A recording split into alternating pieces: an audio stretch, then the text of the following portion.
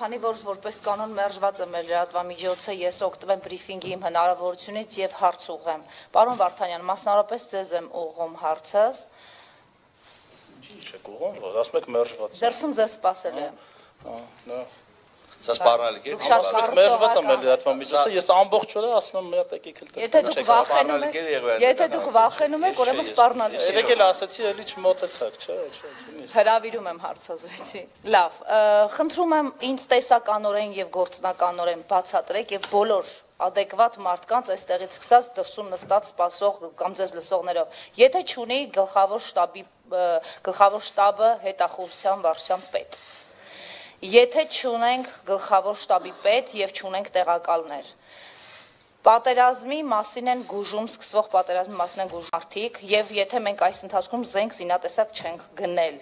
Նախ, ինչ ինչպես եք դուք տեղեկատվություն ստանալու որպես իշխանություն պատերազմի սկսելու, չսկսելու մասին։ Եվ ինչպես է կառավարելու իրավիճակը, երբ դուք բանակի համար չեք ձեռք բերել այս ընթացքում զին տեխնիկա 1.5 տարվա ընթացքում, եթե չասեմ մի քիչ ավել։ Հիմա հաջորդ հարցը։ Երեք Սուրեն Պապիկյանը Սուզի ջան, մեկական հարց վերջում կտակ։ Սա լուսանկարը։ մեկական հարց, հա, վերջում նորից տվեք վեդիում է գտնվել պաշտպանության նախարար Սուրեն Պապիկյանը երեք, մեկ այլ նախարարի հետ Գարիկ Սարգսյանի քարոզարշավին։ Ինչ իրավունքով է ուժայինի ղեկավարը ներգրավում այսպիսի քարոզարշավի քաղաքական գործընթացներին, առավել եւս եթե մենք ամեն շաբաթ ունենում ենք զոհեր, ունենում ենք կասկածելի հանգամանքներ ու մի քանի զոհ ու խոսվում է դիվերսիայի մասին եւ ընդհանրապես պատերազմական վիճակը կարծես թե զրոյականացված չի, հա այդ ռիսկը։ Համեցեք։ Ուրեմն ա- անդրադառնամ առաջին հարցին։ Զինված ուժերը ուղահայացն վերից վար։ Դրանք գործում են բացառապես հրամանի հիման վրա։ Գլխավոր շտաբի պետ մշտական հիմունքներով գործող, հա, կարող է չլինել, բայց չի կարող լինել իրավիճակ, երբ որ չլինի գլխավոր շտաբի պետի պարտականությունները կատարող կամ պաշտոնակատար, չեն կարող լինել համապատասխան ստորաբաժանումների պաշտոնակատարներ, ղեկավարների պաշտոնակատարներ եւ այլն չի կարող լինել իրավիճակ, երբ բանակային համակարգում չկա չկա այդ սուբորդինացիոն համակարգի ինչ որ մի օղակում ինչ որ բան բացակայում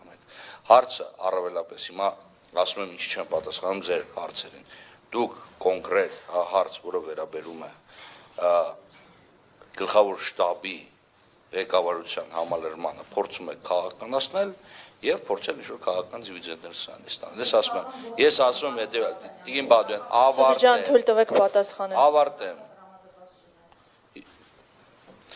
Ես ձեր նկատմամբ հաստատ նախատրամադրվածություն չունեմ։ Թույլ տվեք ավարտեմ։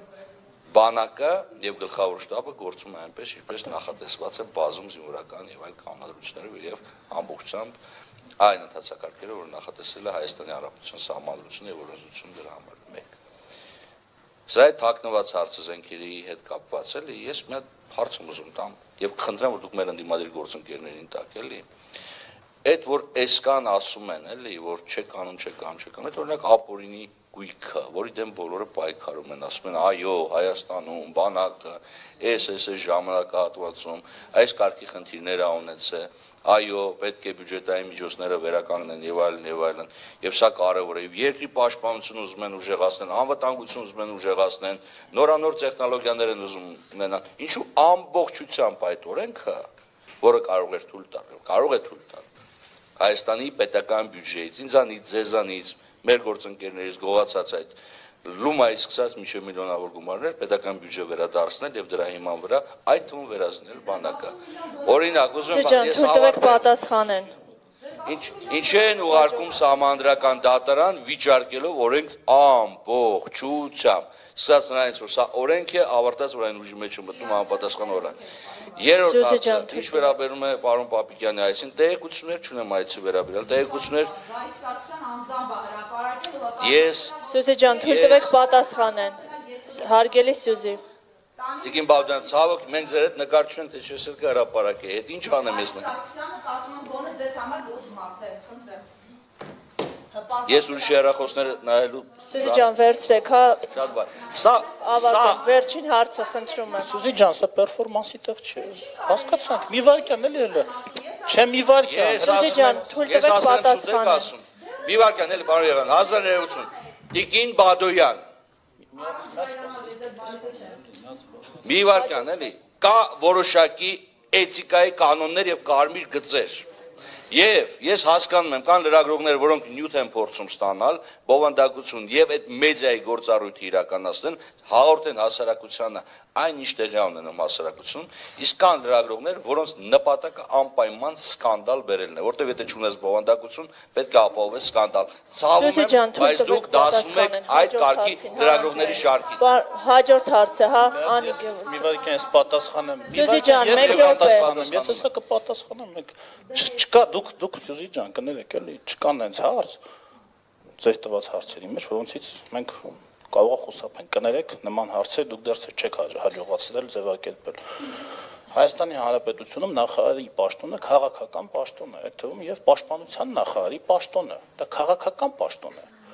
Եվ հետեւաբար իրենք նաև զբաղվում են քաղաքականությամբ, իրենք կարող են լինել կուսակցության անդամ,